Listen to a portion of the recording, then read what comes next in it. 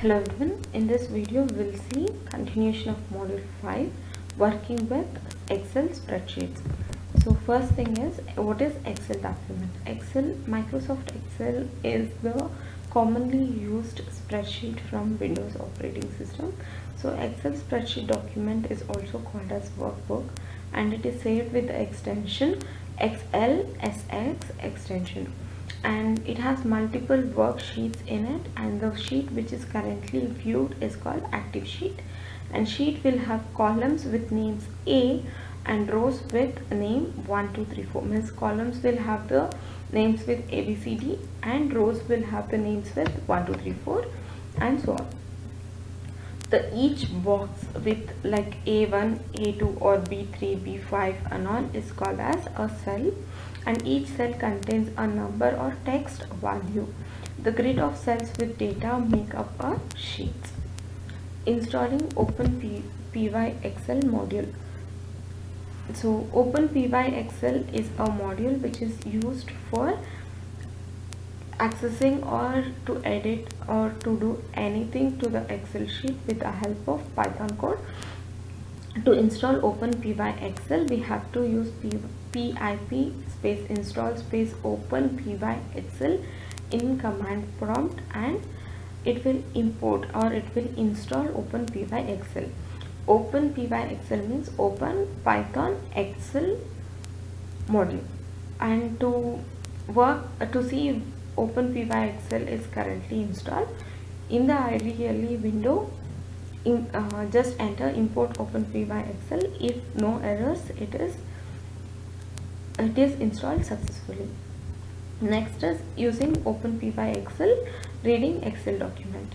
To do that, first thing we have to import openpyxl module, then create an object for workbook.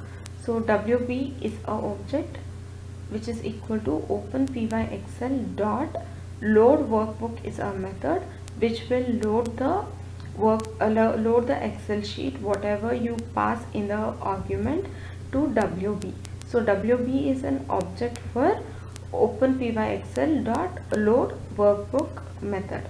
So if i type type the of wb it will show class openpyxl workbook means it is an object wb is an object for openpy excel dot workbook next one is reading the data from excel sheets.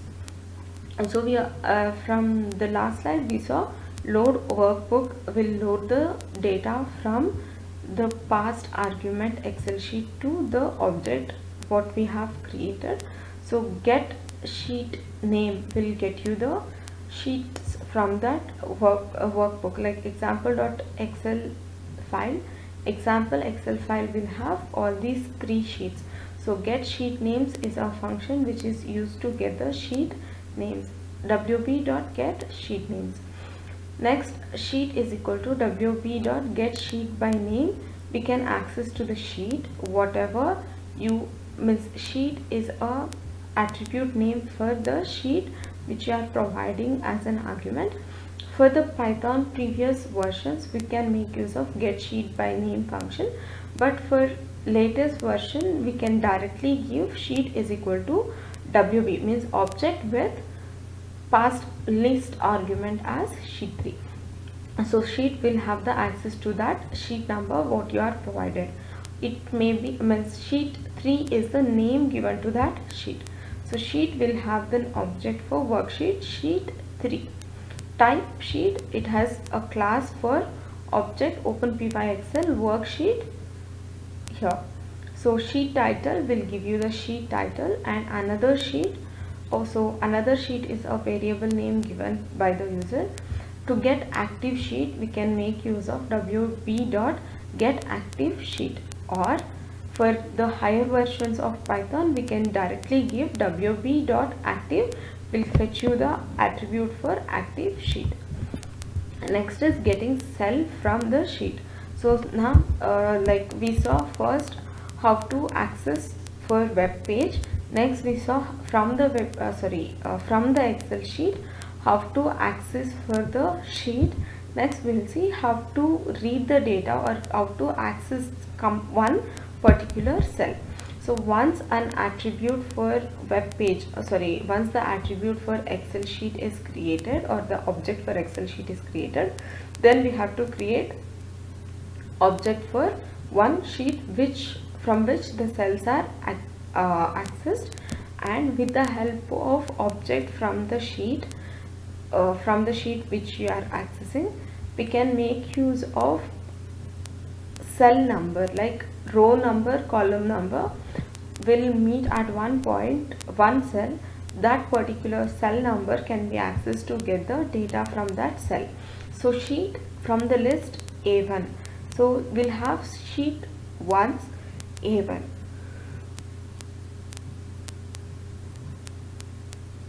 so sheet a1 dot value will get you the value from that cell. So x is equal to sheet b1 so we are assigning the value from one cell to the variable name. X dot value will get you the data. So we can even make use of concatenation to print what is there row with str x dot row will get you the row number of x and column str x dot column will fetch you the column number. Is str x dot value x dot value will get you the value of that cell. Next one is uh, getting cell from the excel sheet continuation where sheet dot cell is equal to uh, we can make use of sheet with cell number or we can make use of sheet.cell by passing row number and column number which fetch you that row cell with that column and row number. So dot value will get you the value or uh, without dot value will get you the number of that cell or id of that cell. So with the help of for loop we can get continuous data from those cells.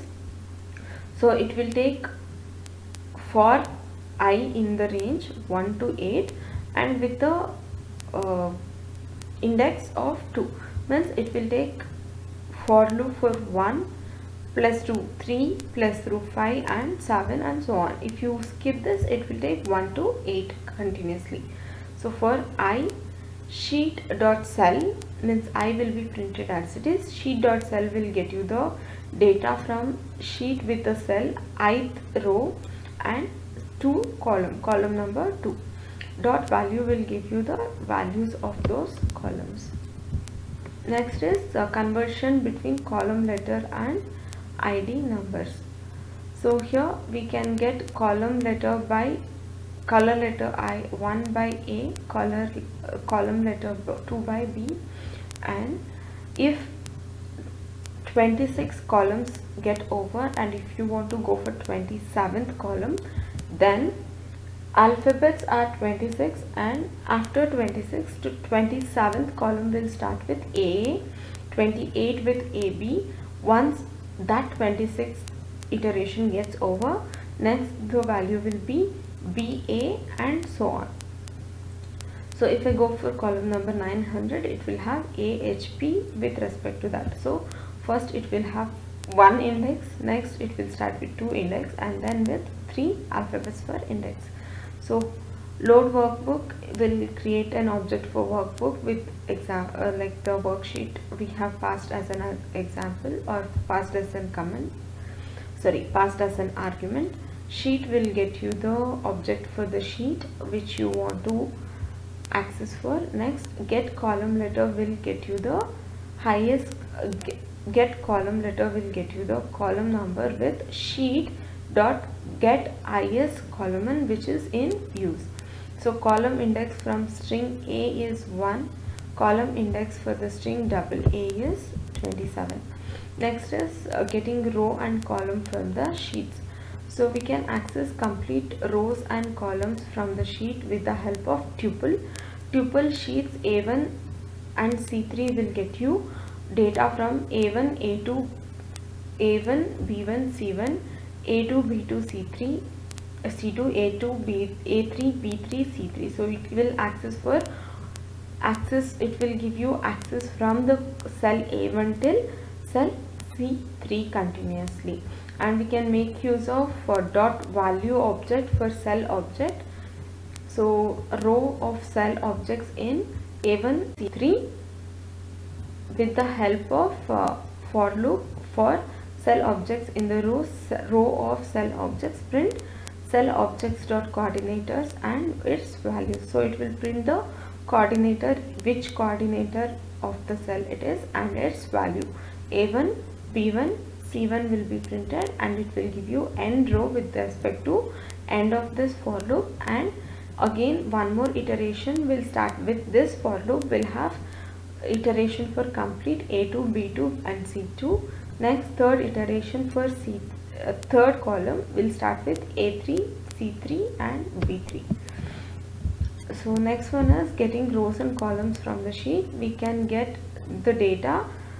Instead of two for loops we can even get only cell values with the help of cell objects in sheet column 1 print cell object values so that it will print only data from cell object column 1 so column 1 will have b1 c1 see here b1 b2 b3 so we are getting columns only first column. So all the first column data will be printed here.